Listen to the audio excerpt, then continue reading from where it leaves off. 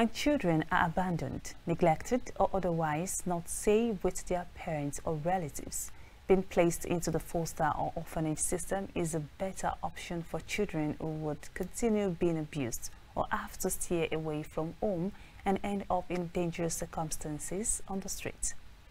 The world and global society benefits when orphaned children are helped. Instead of arming themselves and others, they grow up to be responsible, healthy adults that give back to the community they live in instead of taking away from it. Adejoke Ilori has more on this report. All fingers are not equal, and the need to always look out for children who are less privileged in the society is an important part of life and existence. Recently, in Ondo City, Kaftan TV crew took a thorough look into how things are being done in the orphanage homes. The orphanage is a place of refuge. It is a place of care and protection for the orphans, the abandoned, uh, the vulnerable children, and also the less privileged children in the society. Orphanage home, which some people call motherless home, is actually to cater for children that are wandering around or children that are motherless.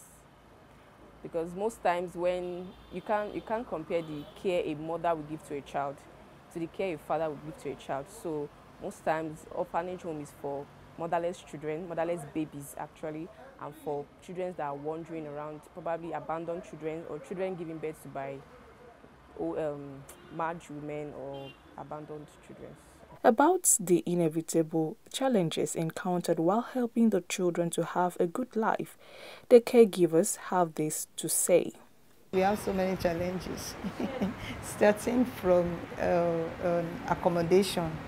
You know, we have to keep them in a good and safe shelter.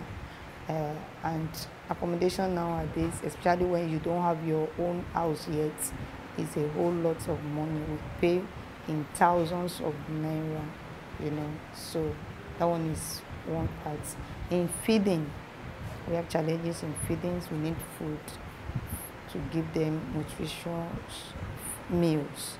Then we have challenges in clothing and in medical care, also in their education, because we try to put all the children in school. They are all in school.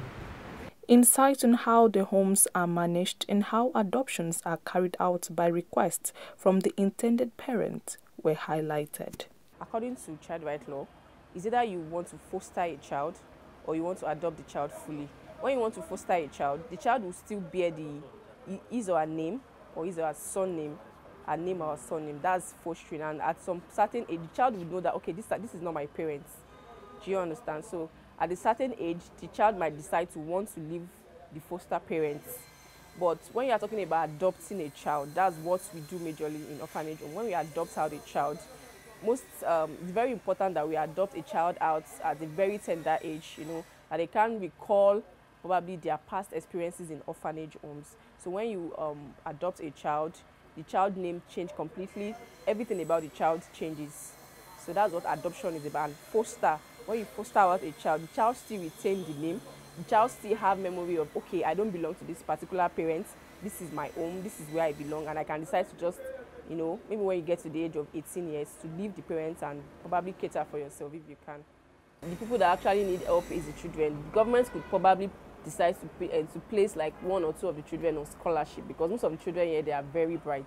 And, well, they, they, they can take exams too for the scholarship, but I think when if the government can probably give them scholarship and tend to help them through their academic life, probably from primary school to um, university stage. Children are gifts and heritage from God, and to make the world a better place to be, every human is implored to join hands in bringing up every children in a good way and have good heart towards the less privileged.